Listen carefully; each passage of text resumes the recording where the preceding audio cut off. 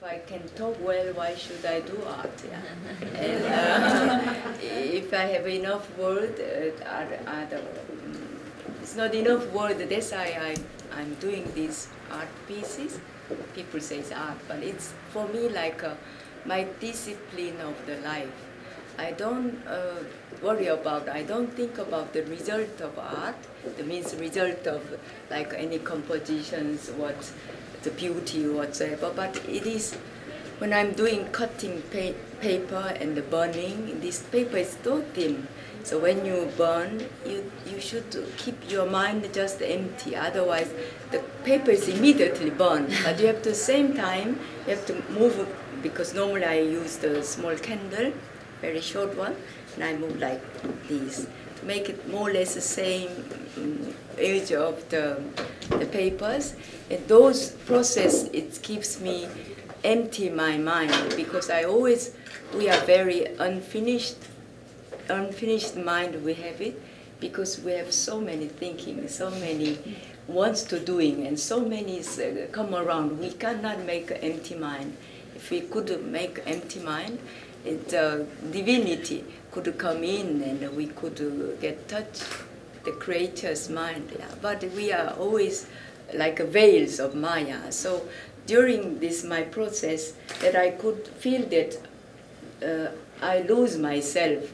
That was the main reason that I do this work.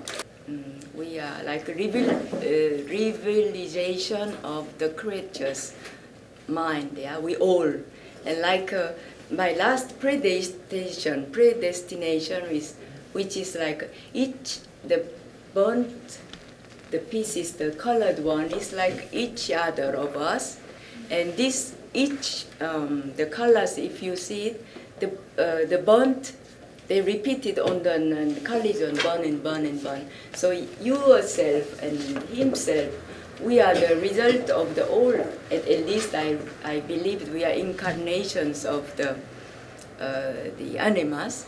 But then there we, we meet like this, we had already predestination. It's not always, nothing is like uh, casual.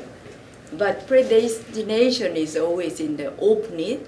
That's what we can do, that we can make like a um, oven, uh, we can, what we can we can make a ribbon to meet, like uh, we make this predestinations, how it goes uh, continuously on. So that my painting where there's a line is like uh, our synapses. We could meet each other, yeah, because we don't need to talk much.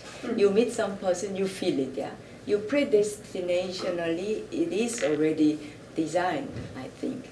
And why you are all here, because somehow our anima or our spirit was calling each other. That's what I believe it.